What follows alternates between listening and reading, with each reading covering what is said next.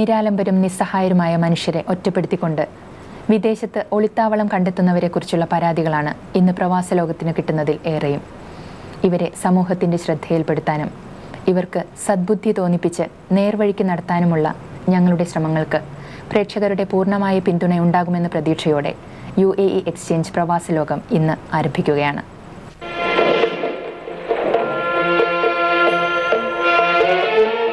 ഹൃദയവാൽവുകൾ തകരാറിലായ ആലപ്പുഴ ജില്ലയിലെ കൈനഗരി പഞ്ചായത്തിലെ ബിന്ദുവിന്റെ ചികിത്സാർത്ഥം റിയാദിലെ കേളി കലാ സാംസ്കാരിക വേദി ന്യൂ സെനയ ഏരിയ കമ്മിറ്റിയുടെ നേതൃത്വത്തിൽ ജനകീയ കമ്മിറ്റി സ്വരൂപിച്ച സഹായനിധി കൈനഗരി പഞ്ചായത്ത് ഓഫീസിൽ വെച്ച് നടന്ന ചടങ്ങിൽ സഹകരണ വകുപ്പ് മന്ത്രി ജി സുധാകരൻ ബിന്ദുവിന് കൈമാറി.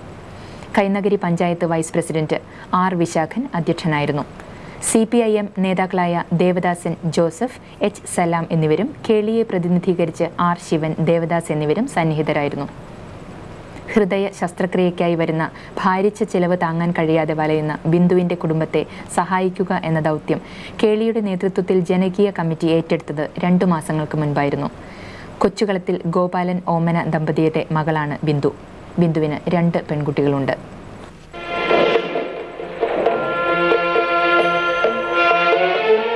ട്രാഫിക്കിങ്ങിനും സേഫ് മൈഗ്രേഷനും വേണ്ടി പ്രവർത്തിക്കുന്ന അന്തർദേശീയ തൊഴിലാളി സംഘടനയായ സോളിഡാരിറ്റി സെന്ററിന്റെ ആഭിമുഖ്യത്തിൽ ബാംഗ്ലൂരിലും ആസാമിലും വെച്ച് നടന്ന മനുഷ്യാവകാശ പ്രവർത്തകരുടെ സ്റ്റഡി ക്ലാസ്സിൽ പ്രവാസ ലോകവും പങ്കെടുത്തു.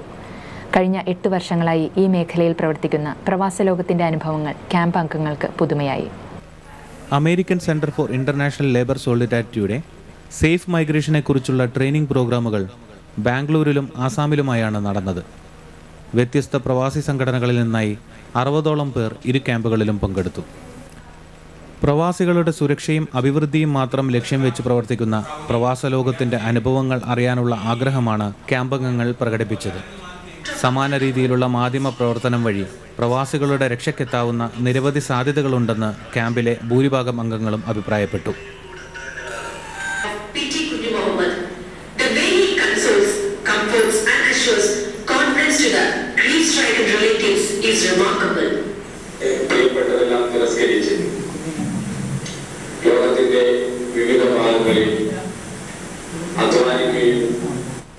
സോളിഡാരിറ്റിയുടെ ഇന്ത്യൻ കോർഡിനേറ്റർ ജവിത നരങ് ക്യാമ്പിന് നേതൃത്വം നൽകി. ഇമെയിൽ സ്വപ്നം കാണും. ഇൻഡെക്സ്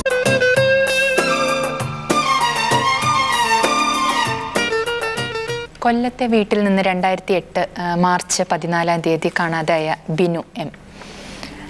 വീട്ടിൽ നന്നായി പഠിപ്പുള്ള ഒരു കുട്ടിയാണ്. ഡിഗ്രി കഴിഞ്ഞിട്ടുണ്ട്. ബി ടി എസ് കംപ്ലീറ്റ് ചെയ്തിട്ടുണ്ട്.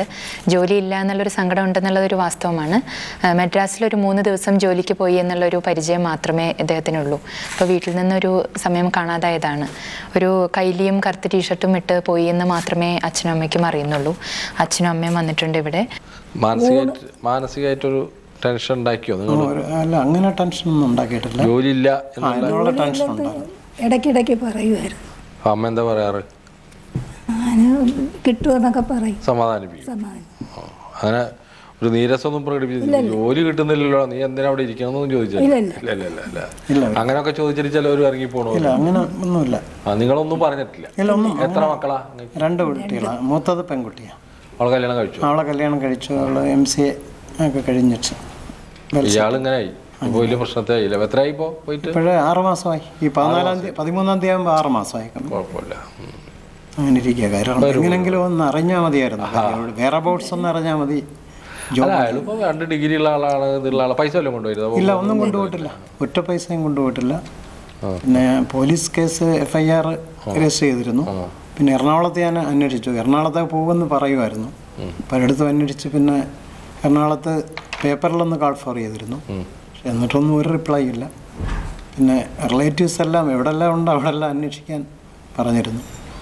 ഞാൻ എങ്ങും ഒരു വേറെ ഒന്നും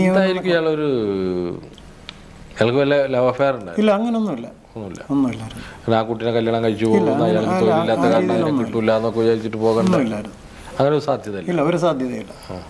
പിന്നെ വലിയ ഫ്രണ്ട്ഷിപ്പ് ഒന്നും ഇല്ലായിരുന്നു. കുറച്ച് ഫ്രണ്ട്സിനെ ഞാൻ കാണും പറയുമെന്നല്ലാതെ പോണതിന് മുമ്പ് ആരോടൊന്നും പറഞ്ഞിട്ടില്ല. ആരോടെങ്കിലും മെസ്സേജ് കൊടുക്കുകയോ അതാക്കുകയോ ഒന്നുമില്ല ഒന്നുമില്ല ഞാൻ പോവുകയാണെന്നോ? ഇല്ല. അമ്മയോട് പറയുമല്ലേ സാധാരണ അല്ലേ അമ്മയായിട്ട് അടുപ്പുണ്ടാവണമല്ലോ മകൻ. എന്റെ എന്റെ അടുത്ത് പറഞ്ഞില്ല പോകുന്ന കാര്യം. ആ എന്തെങ്കിലും വിഷമം പറഞ്ഞിരുന്നു? എന്തെങ്കിലും? ഈ പണി കിട്ടാത്തതിനെ കുറിച്ചിട്ടോ എവിടെന്നെങ്കിലും പോയിട്ട് എന്തെങ്കിലും പണി അന്വേഷിക്കണതിനെ കുറിച്ചിട്ടോ? ശേഷിച്ചൊന്നും പറഞ്ഞില്ല. പണി എങ്ങനെയാ വെച്ചാൽ മക്കളൊക്കെ പോകുമ്പോൾ അപ്പോ അച്ഛനോട് പറയാൻ പറ്റാത്തത് അമ്മയോടാണല്ലോ പറയാം. അങ്ങനൊന്നും പറഞ്ഞിട്ടില്ല അല്ലേ? സാധാരണ അമ്മമാരോടാണല്ലോ പറയാ. നമ്മളെ വീട്ടിലൊക്കെ അവരുടെ ആവശ്യങ്ങൾ പറയുന്ന ഒരു ഒരു അങ്ങനൊന്നും പറഞ്ഞിട്ടില്ല. ഒന്നും പറയാറില്ല. അയാൾ കാശ് വല്ലതും ചോദിക്കുവോ? ഏതെങ്കിലും ചെലവിനൊക്കെ ആയിട്ട്? ഇല്ല. പൈസയൊന്നും ചോദിക്കാറില്ല. ചോദിക്കൊന്നുമില്ല. അയാൾക്ക് എന്തെങ്കിലും പുറത്ത് പോകാനോ അതിനോ മറ്റോ ഒക്കെ നിങ്ങൾ കൊടുക്കും അല്ലേ? അതൊക്കെ കൊടുക്കും. അച്ഛനെ കൊടുക്കുക അമ്മയെ കൊടുക്കുക രണ്ടാളും കൊടുക്കും അല്ലേ? അച്ഛനും കൊടുക്കും. നിങ്ങളും കൊടുക്കും. നിങ്ങൾക്കിപ്പോൾ കഴിയാനൊന്നും ബുദ്ധിമുട്ടുള്ള ഒരാളല്ലല്ലോ അല്ലേ? അല്ല. കഴിയാൻ വലിയ ബുദ്ധിമുട്ടില്ല. പക്ഷെ ഇയാൾ പോയതിന്റെ ഒരു വിഷമം. അത് മനസ്സിലായി മനസ്സിലായി. കാരണം ഇയാൾ എവിടെയാണെന്ന് അറിയില്ല അറിയണം. അതൊന്ന് കിട്ടിയാൽ അറിയുന്ന അറിയാത്തതാണ് പോയത്. ജോബ് ഉണ്ടായാലും വേണ്ടിയില്ലായിരുന്നു. പക്ഷെ വിളിച്ചിട്ട് അറിയണം.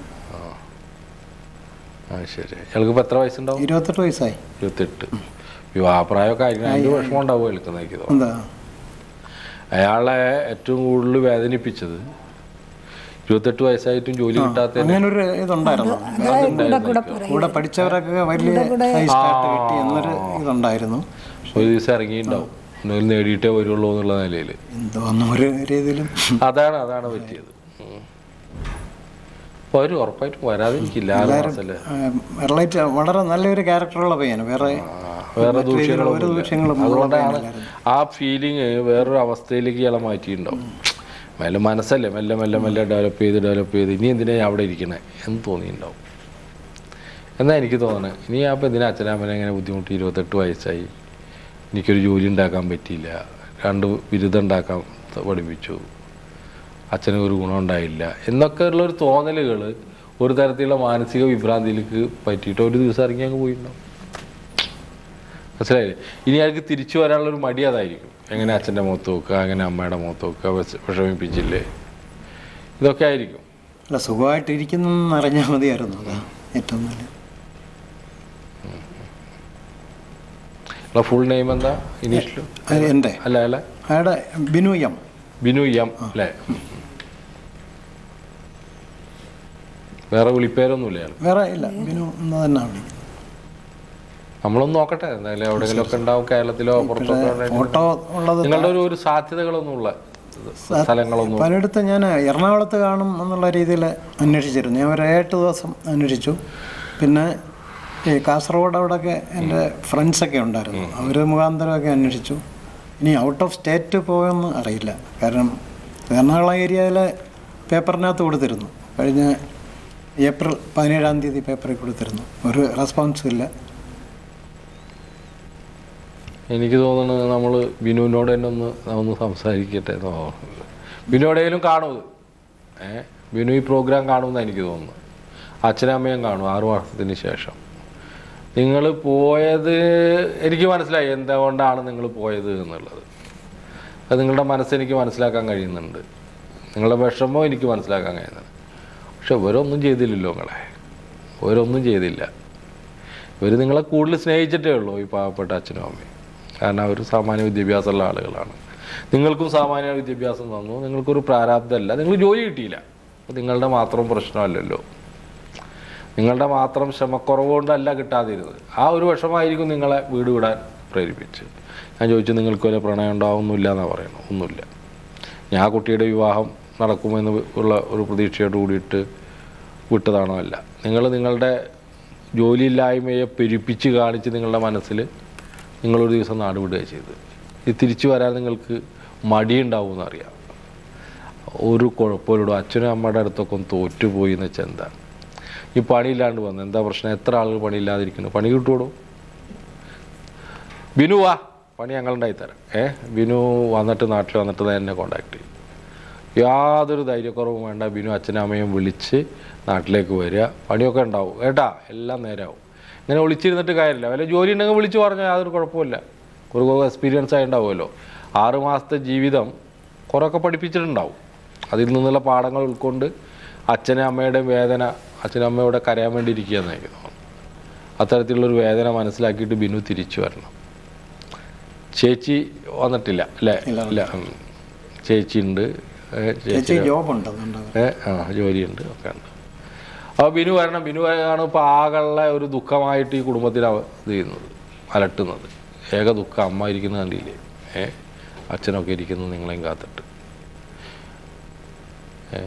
എവിടെയെങ്കിലും പ്രവാസ ലോകം പ്രവർത്തകർ ബിനുവിനെ കണ്ടെത്തുകയാണെങ്കിൽ അതും അറിയിക്കണം. അല്ലെങ്കിൽ പ്രേക്ഷകർ കണ്ടെത്തുകയാണെങ്കിൽ അറിയിക്കണം. അങ്ങനെയും ചെയ്യാറുണ്ട് പലരും. നിങ്ങൾ സമാധാനമായിട്ടിരിക്കുന്നത് ഏ? കുറച്ച് ധൈര്യമൊക്കെ എടുക്കുക അതിൽ അത്ര ചെറിയ കുട്ടിയല്ലല്ലോ. നിങ്ങളിപ്പോൾ നിങ്ങളുടെ ഒരു അവസ്ഥയ്ക്ക് മനസ്സിലാവും. നിങ്ങൾ പഠിച്ച ആളാണ്. നിങ്ങൾ ഇത്തരം ജീവിതത്തെ നേരിട്ടിട്ടില്ല. ഒരു അങ്ങനെ ഒരു പ്രശ്നമുണ്ട്. അത് നമുക്ക് മനസ്സിലാവും നിങ്ങളുടെ പ്രശ്നമൊക്കെ. പക്ഷെ വരും അയാൾ വരാതിരിക്കില്ല എന്നുള്ള ഉറപ്പ് യാതൊരു സംശയവും വേണ്ട. അയാൾ എവിടെയെങ്കിലും ഇങ്ങനെ ഇതിപ്പോൾ എങ്ങനെ വന്ന് ആറ് മാസം കഴിഞ്ഞിട്ട് ഇനി വരുമ്പോൾ അച്ഛനും അമ്മ എന്ത് ചെയ്യും? വീണ്ടും പഴയ ഇതിലേക്ക് തന്നെ പോസ്റ്റിലേക്ക് തന്നെ അടിച്ചു മാറ്റുന്ന രീതി ഉണ്ടാവില്ലേ? ഇതൊക്കെയോ അയാളെ വ്യാകുലപ്പെടുത്താം. അപ്പോൾ അയാൾ ജോലിക്ക് ശ്രമിക്കുമായിരിക്കും എന്നാണ് എനിക്ക് തോന്നുന്നത്. എന്താ? അല്ലേ? ശ്രമിക്കുക അദ്ദേഹത്തെയാണ് കൂടുതൽ സമാധാനിപ്പിക്കേണ്ടതെന്ന് എനിക്ക് തോന്നിയത്. ഏ? അമ്മ കൂടുതൽ അദ്ദേഹത്തെ സമാധാനിപ്പിക്കുന്നതാണ് ഇപ്പോൾ ഇരുത്തത്തിൽ നിന്ന് മനസ്സിലായത്. ഏ? അച്ഛനാണ് കൂടുതൽ കൂടുതൽ കൂടുതൽ ഇങ്ങനെ ഇതായിട്ട് വരുന്നത്. വരും കേട്ടാ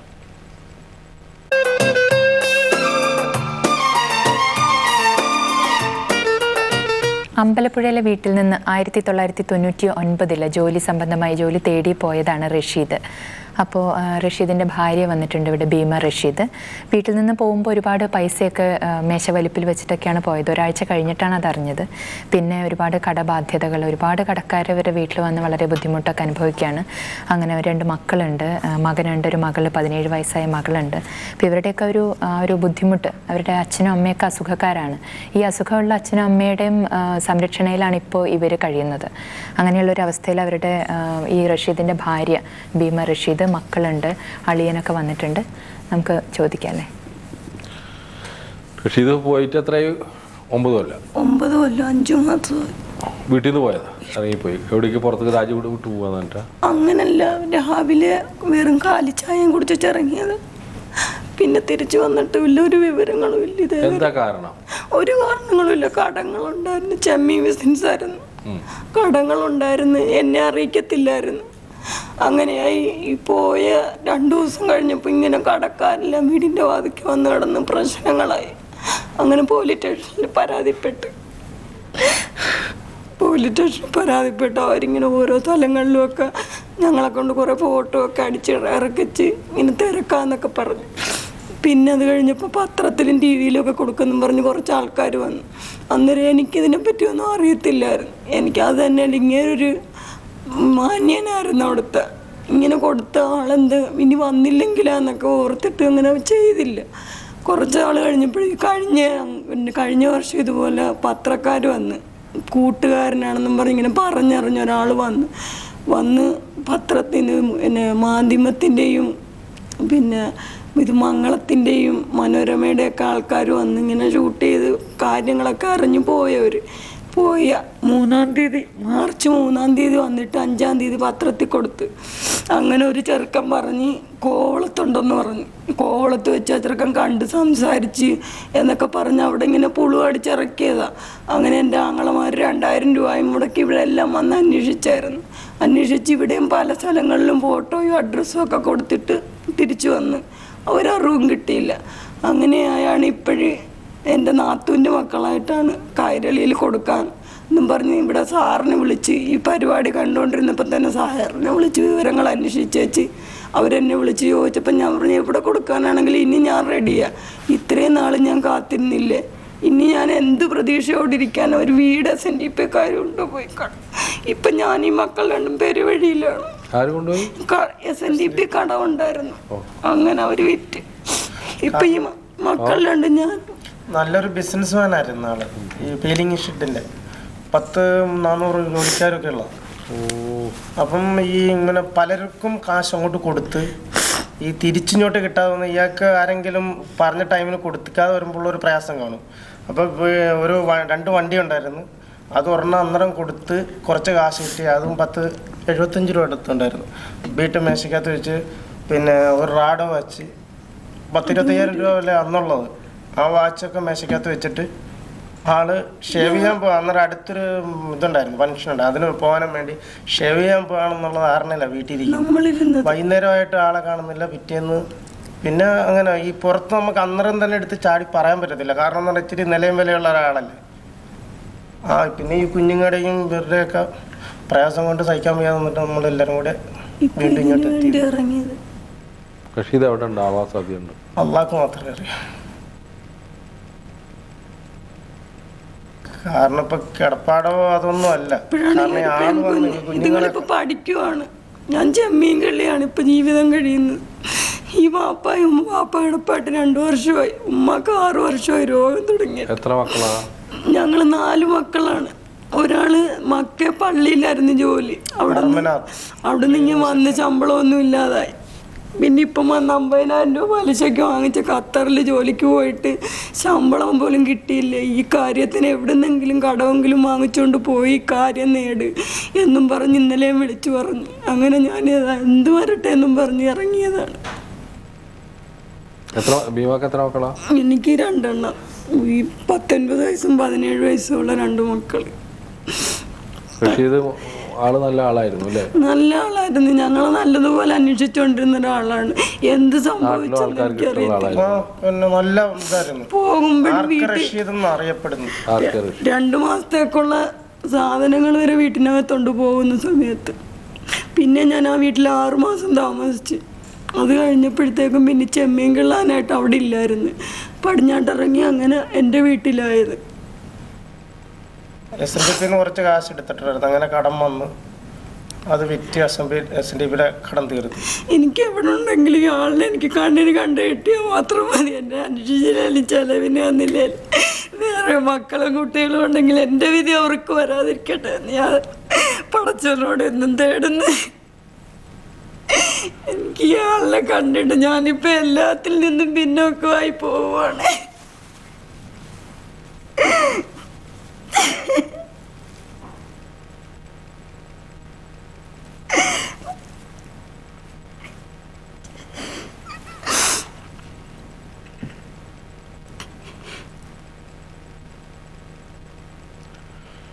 ഒക്കെ ശരിയാവുന്നേ സമാധാനിക്ക്? ഞാൻ ഇന്ന് വരും നാളെ വരും ഇന്ന് വരും നാളെ വരും ഒന്നും പറഞ്ഞ് ഇനി ഒൻപത് വർഷം കാത്തിരുന്നു ഇനി എനിക്ക് സഹിക്കാൻ പറ്റാത്തതുകൊണ്ടാണ് ഞാൻ ഇതിനു വേണ്ടി ഇറങ്ങി തിരിച്ചത് പത്രത്തിൽ കൊടുക്കാതിരുന്നത് ഇതൊക്കെ ഓർത്തിട്ട് തന്നെയാണ്. എന്താ പറയാന്ന് യാതൊരു നിശ്ചയമില്ല അത്തരവസ്ഥയിലാണ് ഞങ്ങളെല്ലാവരും കൂടെ വളരെ മാന്യനായി ജീവിച്ചൊരു മനുഷ്യൻ. തന്റെ കച്ചവടത്തിൽ പിഴച്ച ചില പിഴവുകൾ കൊണ്ട് വീട് വിട്ടിറങ്ങേണ്ടി വരുന്ന ഒരവസ്ഥയാണ് നമ്മുടെ മുന്നിൽ വന്നത്. റഷീദ് വളരെ മാന്യനായ ഒരാളാണെന്നാണ് അവർ പറയുന്നത്. യാതൊരു സംശയമില്ല അതിൽ നൂ- നൂറുകണക്കിന് ആളുകളെ ജോലിക്ക് വെച്ച് കച്ചവടം നടത്തി കടം വന്നു പോയ ഒരാളാണ് റഷീദ് റഷീദിന്റെ കിടപ്പാടം പോലും നഷ്ടപ്പെട്ടിരിക്കുന്നു. ഇതിലൊരു വഴിയുള്ളൂ റഷീദിനെ എനിക്ക് തോന്നുന്നു. റഷീദ് എവിടെയെങ്കിലും ഉണ്ടെങ്കിൽ തിരിച്ചു വരിക. ഇതിൽ നിന്ന് ഓടിപ്പോകാതിരുന്നാൽ മതിയായിരുന്നു റഷീദ്. അതായിരുന്നു അതിലൊരു ഒരു ഈ പല ആളുകളും ചെയ്യുന്ന ഏറ്റവും വലിയ അപകടം ഓടിപ്പോവല.